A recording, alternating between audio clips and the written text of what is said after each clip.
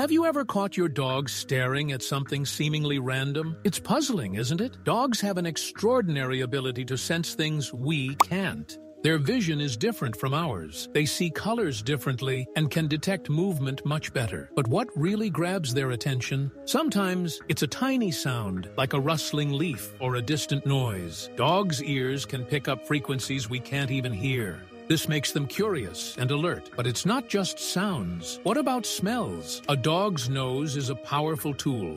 They can detect scents from miles away. You might find your dog fixated on a spot in the room. What could it be? It could be a ghost, or it might just be a bug. The mystery deepens when they seem to stare at nothing at all. Are they sensing something supernatural, or are they just daydreaming? Every stare holds a secret. Each moment is a glimpse into their fascinating world. Next time you see your dog staring, remember, they might be experiencing something truly extraordinary. What do you think they see?